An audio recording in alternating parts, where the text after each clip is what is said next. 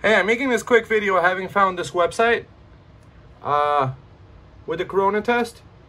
Today.com slash health. You see that video? Right? So I'm scrolling through this article and haven't been talked about how I can't go to summer camp unless I get this done to me.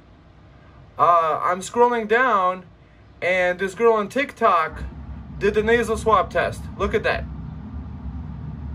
Oh! Jesus Christ. Wow. Yeah. Okay? Yeah. Is this the same test that we're, they're trying to get for summer camp? Alright, so like I said, they'll be back in about 24 to 48 hours. We'll give you a call. And look at this collection So procedure. eyes, So she said fast blow the thing. Of the procedure. Gently insert the swab along the nasal septum, just above the floor of the nasal passage, the nasopharynx. until- Oh! Jesus. Rotate the swab gently against the nasopharyngeal mucosa for 10 to 15 seconds. Gently remove the swab and place it into its container.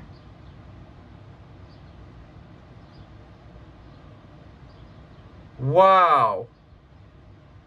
Are you guys serious? Wow.